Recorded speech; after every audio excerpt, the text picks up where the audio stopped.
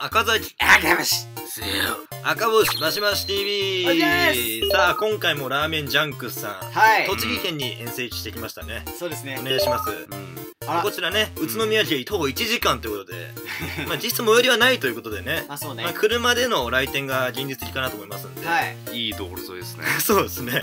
アメリカのような。もうあの看板もでかいんであはの分かりやすいんでねルート66だよね。めちゃめちゃいるじゃんもいこんなシーン撮られてたんですね。うそうですね。僕ら1時間前に来ちゃってうん。あのまあね。で定休日前の日のやつが出てるんでね。あ本当怖いな。はい。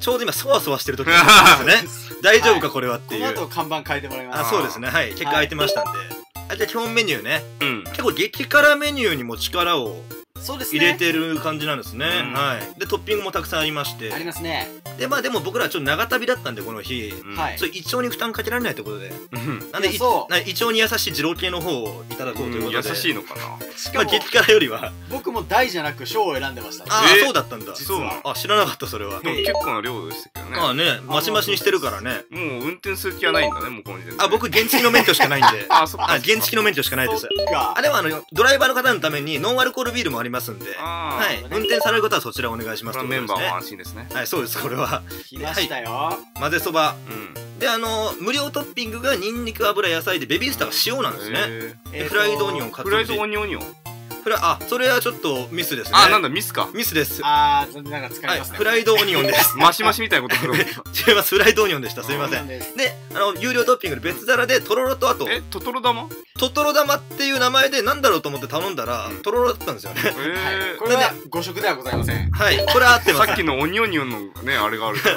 こっちは合ってます。うんであの卵とねあのとろろなんで100円値段が同じなんで得です。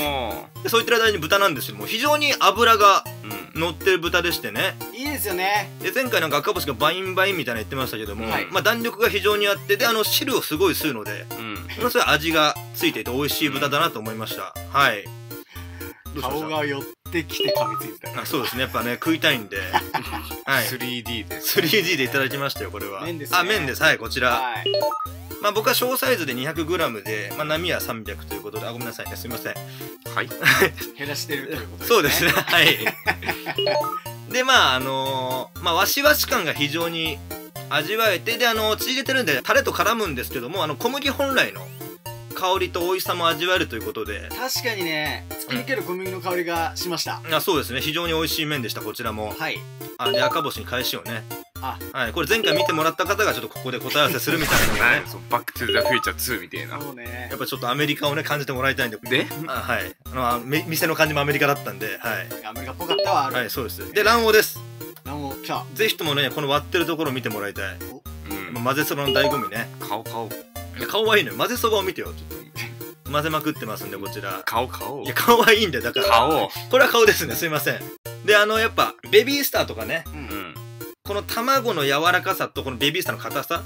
うん。でこのフライドガーリックも使ってますけどもあのガーリックとオニオン両方ある店ってあの少ないと思うんでああオニオン。まあ食感も楽しめるということでね。はいはいでこれ前回ここねに入れたんですねとはい。ろろ。をいやこれねうん。ややばいわちょっと。うますぎるちょっと。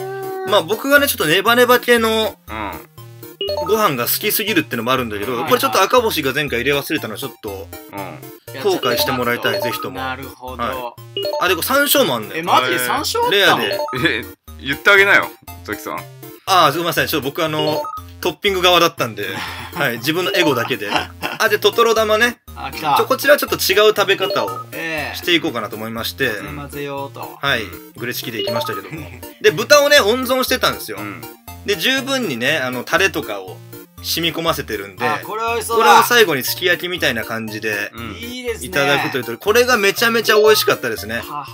なのでぜひともあのこちら頼んだ方豚を温存して食べてみるというあー確かに。のもちょっと推奨したいですね、うん。そうですね。でまあ他にもなんか元気玉とか人気玉あったね。これはなんかニラとうん。卵だったかな、うん。えっとあとニンニクもちょっと入ってる。うん。ああそうかそうか。そうそうそうなんで混ぜそばのねカスタム品が非常に多いんで、うん。あそちらをぜひとも食べてもらいたいかなと思いましたね、あこれね体積の必要なしなんだよね。はい。なんかなんか居酒屋だったのかなもともとうん。えっとねカリオストロという。カリオ白？結構マジで？すごいあの多国籍料理屋さんみたいな感じ。あそうだ。ったのそうそうそう。初めて知ったわそれ。まあ雰囲気も落ち着くということでまあ行列がすごかったんでね。まあ、ね。常識の範囲内の、そうそうそうまあ、時間内で、まあ、ゆっくりしてもらうのもいいかなと思いました、わあいはい。ですね、混ぜそばこんな感じだったんですね。はいそうでした。はい、まあ、ちょっと山椒はね確かに教えといた方がよかったかな。まあ、まあまあまあ。まあまあ、卓上トッピング、そして有料トッピングもね非常に多かったんで。で、まあ、品数も多いんでねちょっとヘビロテしたいなっていうちょっと栃木にあるのが悔やまれるまあそうだよね。俺らからしたら。ちょっと遠いもんねやっぱそうだね。あのーやっぱ個室であることでちょっとこれ触れとかなきゃいけないのが、うんちょっとあのー昨日ね、うん。あのーラーメン二郎相模大野店うん。さんの、はい。えっ、とあの待ち合わせについてちょっと別の方が炎上したんですよ。炎上というかバズっててどっち あのじゃああの意味合い結構変わってくる えっとねあのけど炎上？スモジのうん。スモジのね、うん。あの正面のマンションの人が、あのちょっとこの辺に並ばないでくれとか、うん。そのマンションの中にね、はいはいはい。あと荷物を置き去りにして店に入ったやつがいると思って、ああちょっとマナーが良くない、ね、そうそう、マナーが良くないっていうんでスモジさんに直接手紙を書いたらしいのよ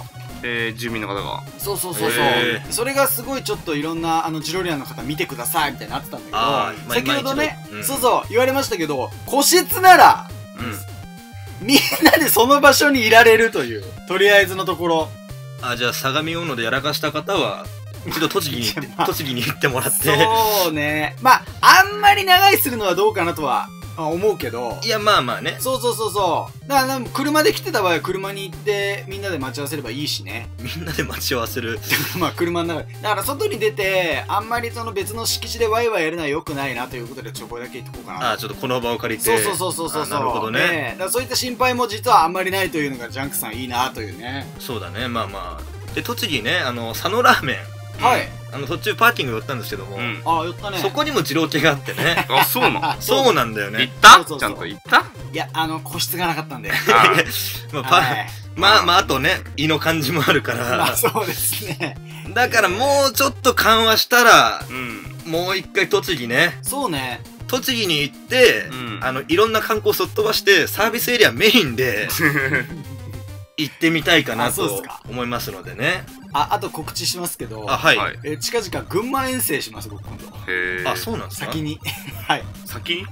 何 だから栃木に裁縫する前に。ああなるほどね。ええ。あじゃあちょっと遠征シリーズ近々もう一回あるかもしれないというこそうとでですよ。なるほど。じゃあそちらの方もぜひともお楽しみということで。お願いします。はい。ありがとうございます。またよろしくお願いします。ごちそうさまでした。小さんですはい